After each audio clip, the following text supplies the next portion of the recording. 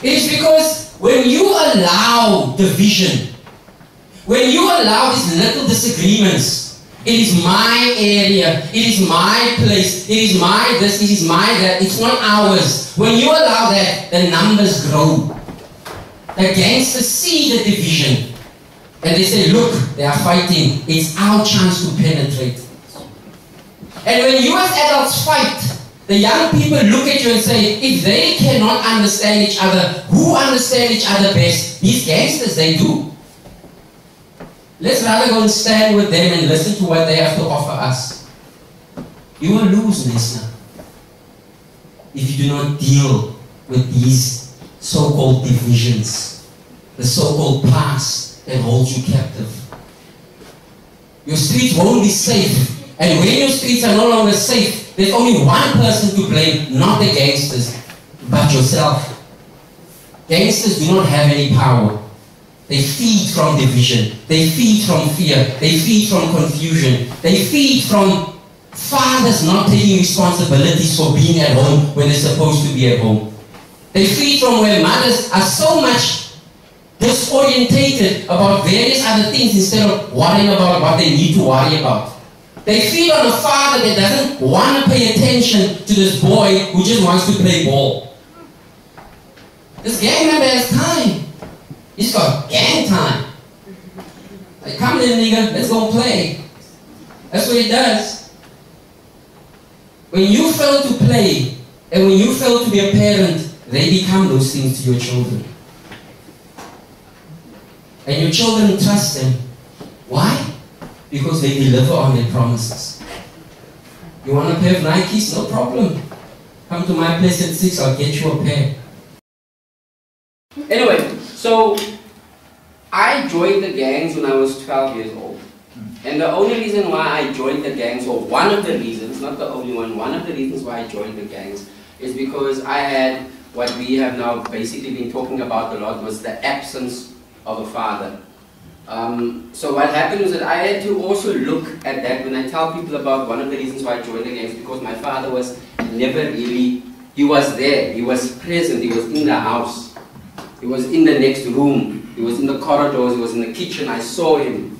But we didn't really have a conversation, we didn't talk much. The only time me and my dad really had a good conversation is when I did something wrong. Then he would have, either have to reprimand me or he would have to tell me that you are grounded or something like that. So my direct communication with my father was, do something wrong, you have your father's attention. So that's just how I operated because as a young person I thought that's the way in which my father wants me to communicate. And I can imagine how many other boys out there thinking the same way. That if I do something wrong, my father will talk to me. If I do something wrong, my father will have a conversation with me, even though he reprimands me, but as long as he's talking to me, that's important. So I got into his car, but the conversation that we had is something that I didn't discuss with you yesterday. The conversation we had was like, he used this word that he sees potential in me. And I couldn't understand why this guy who didn't know me from above so could use the terms, I see potential in you. And as we were talking, he says, I know what you are going through. I know what you are going through, but don't worry about that. You know, I'm going to be your mentor. I'm going to be the one that's going to guide you. I'm going to be the one that's going to show you what it's like to be a man. Now, this is a guy that's not my father. He doesn't stay in the house with me. He doesn't know me from above, so. But the fact that he is recruiting me into his gang by the words he used is what I wanted to hear. Because I want to be a man. I wanted to know what it's like to be a man. What was it like to be respected and guys in my street should stop making fun of me. Do you know what I mean? I wanted to be respected. And this guy identified that in me and he said, I will give you all of those things. How to be a man, how to be respected, how to be dominant, how to be the leader of your own life. Beautifully put in those words. Now imagine a 12 year old listening to a man saying that to him, a very influential man. And this guy telling me that I know your circumstances at home, don't worry, I'll take care of all your needs. I surprised you this morning then, Shane. I know you had very high hopes for young man. Up with Krungamu, you talk about prison. We don't talk about that. Because I will see you there. Get it? I don't see you in prison. I see you with your beautiful wife and your two babies. Going to work and your wife kisses you and says, baby, have a good day at work.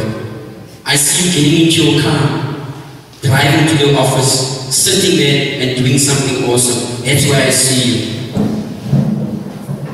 You get me? That's my blessing on your life. You have an opportunity to either take it or use it. Or how do you want me to see you? As the general that I was, you know if I was a general, you know where I see you. There's my for. Get it? You got it? There's my way for you. You got it? Is that where you want to be? I'm being real and honest with you because that's what you're going to be you go to prison. You're not going to be as strong as me, I promise you. Because you are small. Hulle gaan vir jou onderkry, hulle gaan jou verkrag en hulle gaan vat wat jy het. Want hulle gaan jou breek. Is that what you want?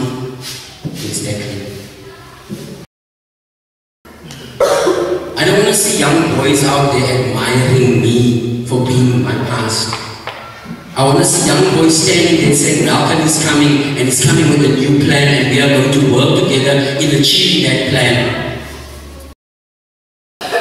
Parents must start taking responsibility. I'm sending my child to school. The school must be the parent. It doesn't work like that. Being a parent doesn't change. It continues 24 7.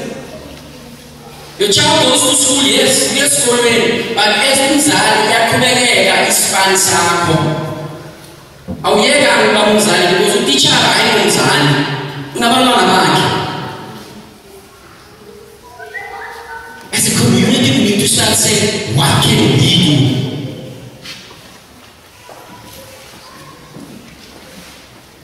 Become a positive gang. Become a positive gang. If you want to be a gang, guys, become a positive gang. Start cleaning up your communities. Start doing things that are positive in your communities. Start forming circles of support. The little ones that are going to school in the morning. Find something positive to do. Guild is here, Heroes is here, various other communities, the CPF is here. Ask the CPF, I am on the street, I want to